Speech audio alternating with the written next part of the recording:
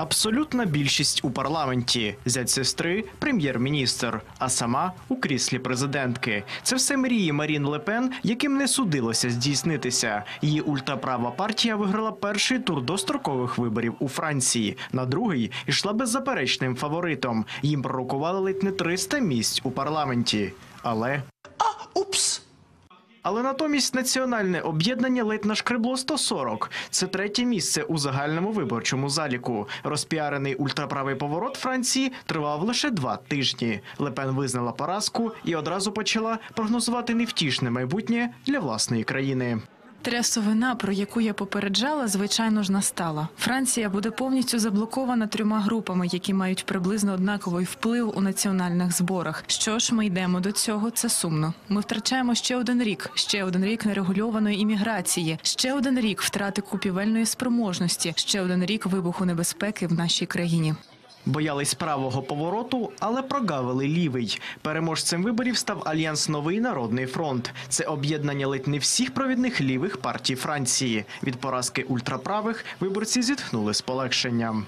Лівий блок виступив єдиним фронтом, тому люди знали за кого голосувати, щоб протистояти ультраправим. Звичайно, хвилювання присутні вже зараз щодо того, а як нам вдасться організуватися. Але в будь-якому разі ми відчуваємо справжнє полегшення від того, що змогли здолати ультраправих. Одним із лідерів лівого альянсу є Жан-Люк Меланшон. Це важковаговик французької політики, а також популіст, критик Сполучених Штатів та чільник партії Нескорена Франція. Меланшон вкрай одіозний персонаж. У 2018 році приїздив до Москви для участі у ході так званого безсмертного полку. Макронівці на відріз відмовили співпрацювати з ним. Меланшон, за словом, у кишеню теж не поліз. Тепер воля народу має бути суворо дотримана. Відтепер жодні хитрощі, кулуарні домовленості чи комбінації неприйнятні.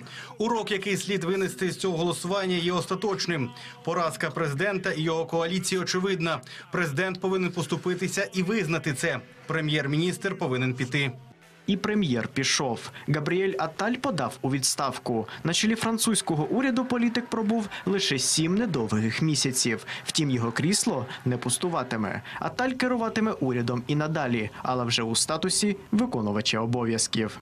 Політична група, яку я представляв у цій кампанії, навіть якщо вона набрала втричі більше ніж прогнозувалося останніми тижнями, не має більшості. І тому, дотримуючись республіканських традицій і своїх принципів, я подам президенту заяву про відставку. Партія Макрона прийшла на виборах другою. Взяли понад 160 місць у парламенті. У кілька разів перевершили песимістичні прогнози політичних експертів. Вибір у президентського блоку віднині невеликий або коаліція, або технічний уряд. Розпустити парламент не зможуть ще протягом року. Це забороняє конституція. І макронівці вже готують для себе простір. Крім кандидатури Меланшона, у лівому альянсі ще є кого обрати.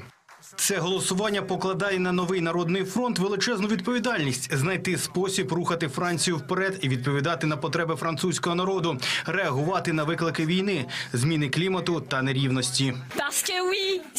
Надія, створена цим союзом лівих і екоактивістів, є головною політичною подією цих виборів. Новий народний фронт народився тут, у цій будівлі, менше чотирьох тижнів тому. Ми мали це зробити, але нам навіть вдалося перемогти, і тепер ми будемо керувати країною. Україною. Новий народний фронт створили спеціально під вибори. Блок ішов без лідера та без чіткої програми. Партійці погодились лише щодо необхідності підтримувати Україну, підвищити мінімальну платню та сприяти мігрантам. Попри перемогу, більшості ліві не мають. Яким буде парламент, важко передбачити. Більшості немає. Лівим буде дуже важко дістати вотум довіри на формування уряду і реалізувати всі обіцянки. Тому після радощів настане час для розчарування. Для національного об'єднання теж не так багато позитиву. Президент відчуває певне полегшення порівняно з масштабом поразки, яка могла статися, але вони все програли. Авантюра президента Макрона спрацювала. Він вчасно розпустив парламент і зупинив зростання популярності ультраправих. На перемогу у виборах він і не сподівався. Медіа, втім, його критикують, називають політичний простір Франції після виборів ілюзією. Ілюзією, яку побудував президент Макрон. Антон Кучеренко, п'ятий канал. Змінив хід великої війни Валерію Залужному 51. Він знав про плани Росії та готував українське військо до нових викликів.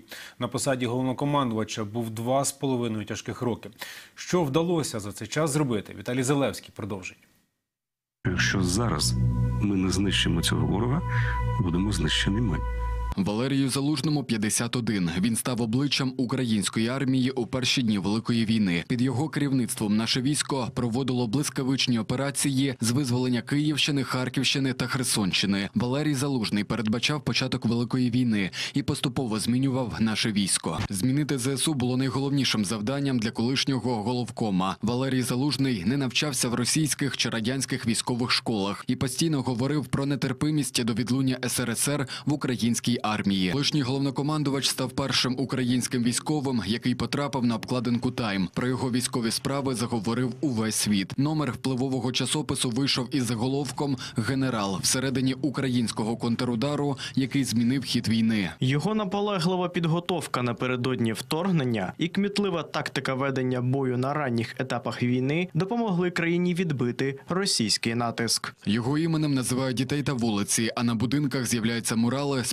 портретом залужного. Він рідко дає інтерв'ю, проте щоразу у його словах знаходять сенси. Цитати колишнього головкома досі розлітаються мережею. Хоч як тяжко нам не було б, але вже точно не буде соромно. Перемога для нас це визволена територія і потужні надсучасні боєздатні та, мабуть, дуже великі збройні сили України, які не дадуть РФ повторити те, що відбулося, і те, що відбувається зараз. Єдність наша головна зброя. Двічі залізний генерал підтримував благодійні збори п'ятого каналу на рації для ЗСУ. Під час першої його прес-конференції колишній головком підписав наш календар без цензури. Цей лот п'ятий канал продав за 100 тисяч гривень.